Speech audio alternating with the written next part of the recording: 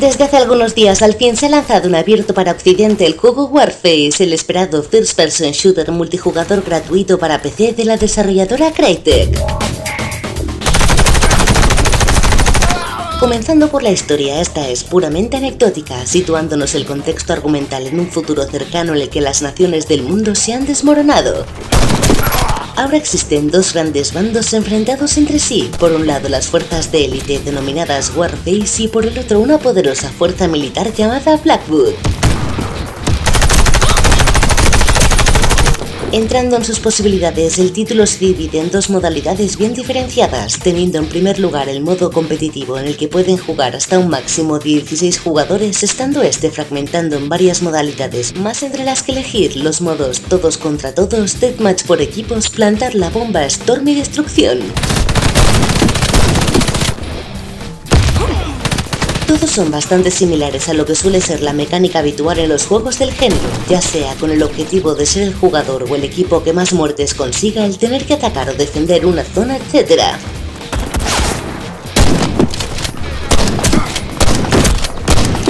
En este sentido, lo primero que nos ha llamado la atención es que los escenarios del juego son de un tamaño relativamente pequeño, lo que hace que en las partidas la acción sea constante y no decaiga en ningún momento, ya que siempre estaremos muy cerca de los enemigos, algo que también hace que se abuse bastante de las granadas, puesto que no resulta demasiado difícil matar con ellas.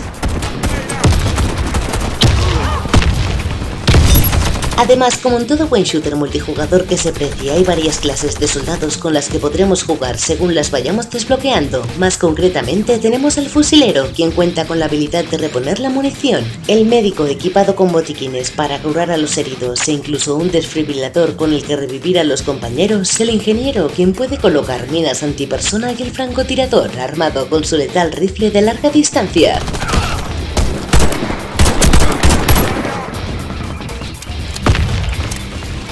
Sin embargo, hemos de decir que durante las partidas nos ha dado la impresión de que algunas de estas habilidades no son muy aprovechadas en un juego de este tipo con un planteamiento tan directo, ya que si por ejemplo jugamos con el fusilero lo más normal es que el resto de nuestros compañeros mueran antes de que a algunos se le agote la munición, mientras que en el caso de jugar con el médico, su desfibrilador no suele ser muy útil ya que si un jugador es abatido, este puede reaparecer en el mapa de manera casi inmediata, por lo que no es habitual que nadie espere por ser revivido.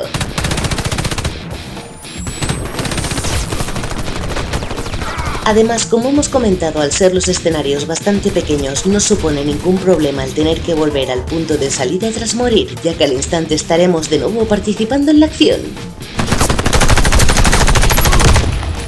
De igual modo, cabe mencionar que los personajes poseen algunos movimientos bastante originales, ya que por ejemplo dos jugadores pueden ayudarse mutuamente para trepar por muros elevados y también es posible deslizarnos por el suelo tras realizar un sprint, algo que hará que sorprendamos a los enemigos en más de una ocasión.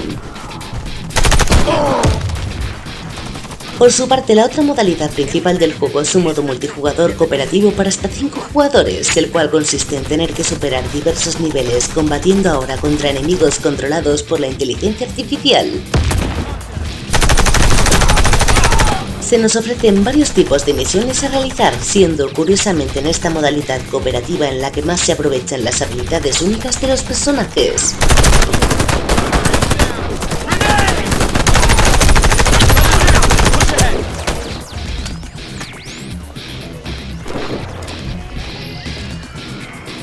Asimismo, un elemento importante del juego es la gran personalización de las armas, ya que estas cuentan con todo tipo de modificaciones, siendo incluso posible personalizar un arma en mitad de una partida con solo pulsar una tecla, si bien todas las armas y los componentes hay que ir consiguiéndolos, por lo que no será hasta que hayamos jugado bastante cuando empezaremos a utilizar esta opción de forma frecuente. Y precisamente en este aspecto, al tratarse de un juego gratuito bajo el modelo free to play, resulta posible comprar todas las mejoras con dinero real, habiendo desde un gran número de nuevas armas hasta diversas ropas con las que cambiar la apariencia de nuestro personaje u otros objetos con los que ganar más experiencia en cada partida.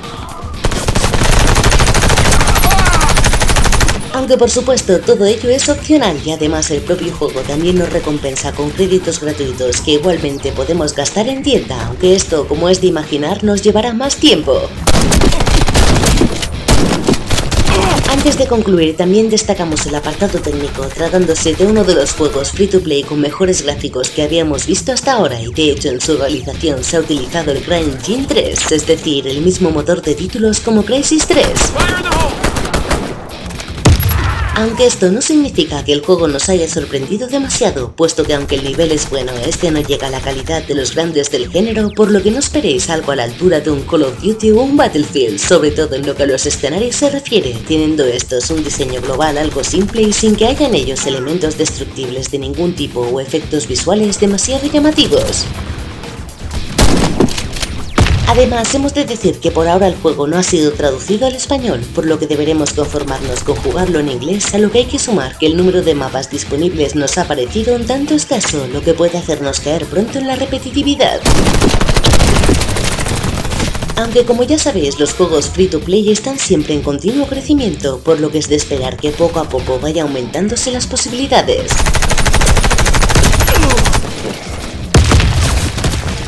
En resumen, si queréis divertiros de forma gratuita con un buen shooter multijugador, Warface se coloca en una de las mejores opciones del género en lo que los juegos free to play se refiere. Si bien es un título que aún debe seguir mejorando y creciendo, habiéndonos dado la impresión de que no se ha sacado partido algunos elementos del juego que podrían haberse potenciado mucho más. Os recordamos que para jugar con él solo tenéis que descargarlo desde su página web. Además, Warface también verá la luz en Xbox 360 el año que viene a través de Xbox Live, manteniéndose su mismo formato gratuito en la consola de Microsoft.